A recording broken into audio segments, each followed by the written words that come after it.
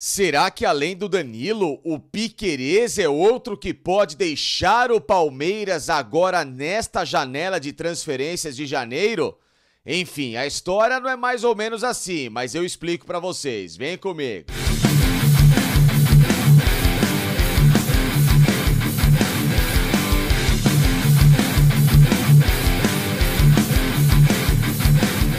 Pessoal, antes a gente falar dessa possível saída do Piquerez para o futebol espanhol, recado importante dos meus amigos da Maisage, que vocês já conhecem por aqui, financeira que trabalha com antecipação do seu FGTS de forma muito rápida, segura e simples com a grana em até 24 horas na sua conta. Eu sei que esse mês de janeiro é pesado para todo mundo, tem um monte de conta para pagar, IPVA, IPTU, as parcelas dos cartões das festas que são sempre bastante gordas e claro, você quer tirá-las da frente o mais rápido possível. Então, se você tem uma grana, ela tá lá parada, não consegue mexer, mas precisa tirar da frente esse monte de obstáculo, fale com a Mais Ágil, porque foi assim comigo, tenho certeza que também vai ser com você, tá bom? Contato dos caras aqui neste telefone ou então na descrição deste vídeo tem o link para falar diretamente com eles através do WhatsApp. Mais Ágil, estamos juntos, hein?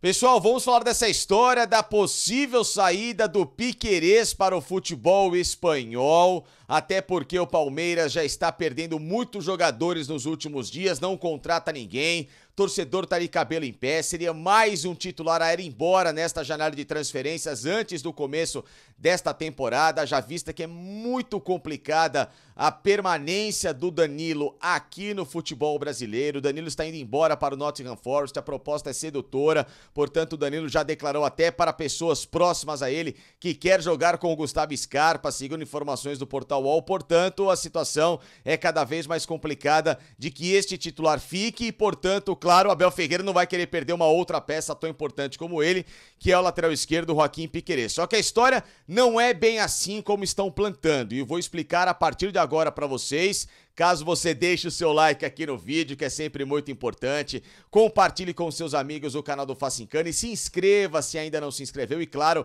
ative o sininho de notificações. É sempre muito importante para você ficar ligado com todas as novidades que eu posto aqui diariamente no canal do Facincane, que tem apoio da Joma, marca espanhola que vocês conhecem muito bem, renomadíssima no mercado, com as camisas de futebol hoje mais bonitas e elegantes do planeta.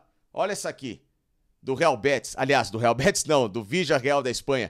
Que coisa linda de camisa, cada baita detalhe. E usando o meu cupom FACE10 lá no site da Joma para adquirir não só essa camisa, mas qualquer outra dos caras ou qualquer material esportivo, 20% de desconto para você, hein? Portanto, não perca essa chance. Vai lá no site da Joma, amplie sua coleção de camisas, camisas para você treinar, tênis para você correr, para ir na academia, para jogar tênis, chuteiras e bolas que, olha, são referências no mercado. A Joma é uma marca especialíssima, portanto, não perca a chance de usar o meu cupom e ser feliz no site dos caras, assim como também o cupom FACINCANE lá no site da KTO, para que a sua aposta se torne dinheiro de verdade para você, para que você tenha as melhores odds à disposição para faturar um troquinho agora com todos os campeonatos de volta. Os campeonatos europeus, tem Copa São Paulo rolando, os campeonatos estaduais que voltam agora nesse final de semana. Se consagre na melhor casa de apostas do Brasil usando o cupom FACINCANE lá no site da KTO, tá bom, galera? Bom, vamos lá, vamos explicar essa história porque é o seguinte.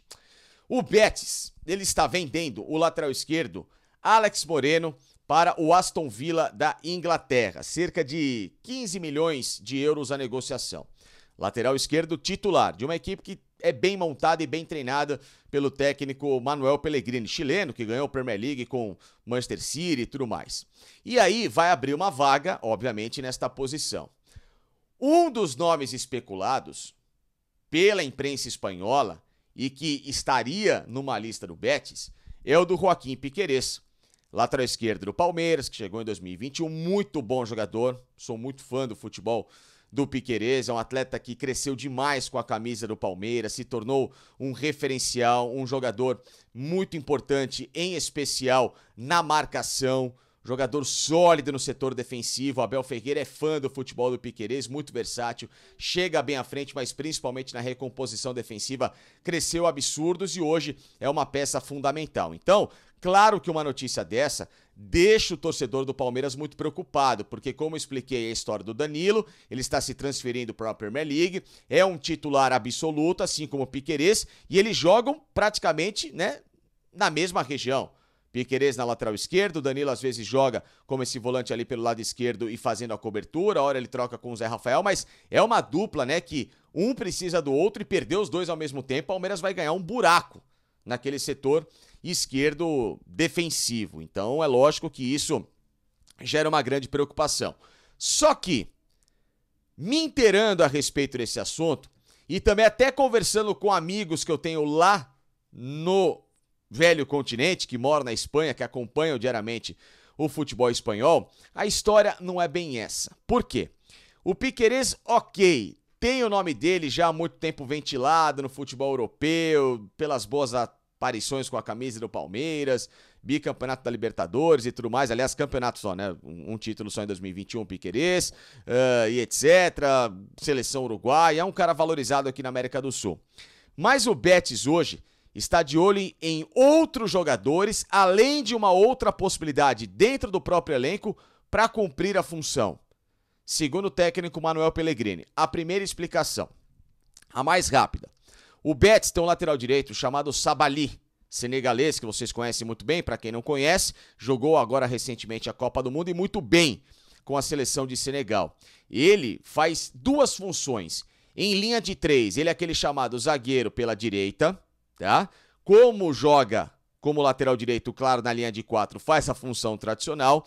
E é um jogador híbrido. Gostaram da palavra? Híbrido porque ele trabalha nos dois lados. Ele joga tanto como lateral direito como esquerdo. E aí o que, que o Betis faria? Além do Alex Ruibal, que é um lateral direito, e o Alex Moreno, aliás, que era o esquerdo, perdão, né? Além do Sabali, o Alex Ruibal, pela lateral direita, no lado esquerdo, o Betis tinha agora o Alex Moreno, que foi embora para Aston Villa e vai abrir a posição. É, ele jogaria o Manuel Pellegrini, o Sabali, para o outro lado, para cumprir a função de lateral esquerdo. E aí buscaria no mercado um lateral direito para essa posição.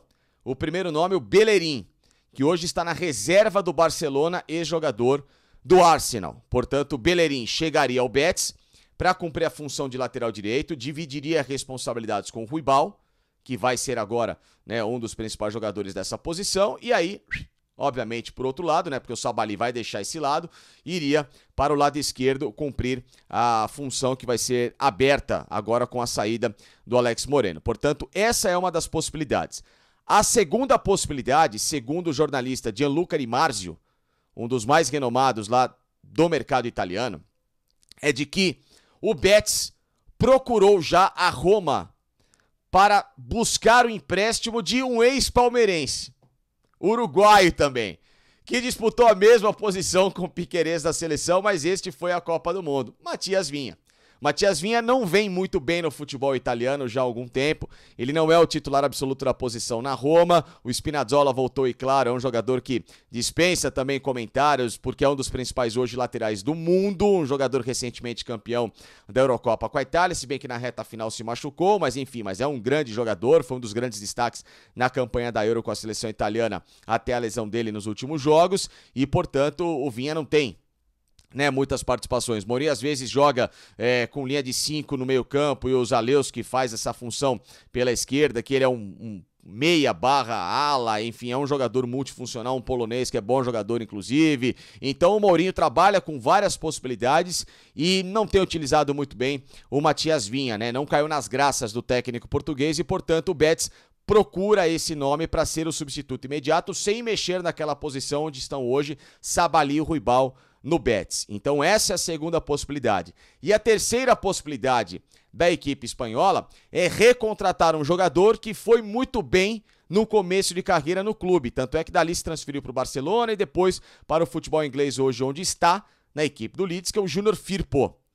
Ou seja, aí é um investimento mais pesado, o jogador que está valorizado no futebol inglês, apesar do Leeds ser uma equipe que está brigando muito mais por parte baixa de tabela do que qualquer outra coisa, mas é um jogador que o torcedor conhece lá na Espanha, que o próprio clube também, claro, tem um carinho gigantesco, porque foi o Betis que projetou o Júnior Firpo para o futebol mundial, e aí sim, claro, ele chegaria para essa vaga de lateral esquerdo aberta pelo Alex Moreno. Portanto, o Piquerez nessa história seria uma quarta, quinta opção. O Betis olharia antes de buscar um lateral esquerdo.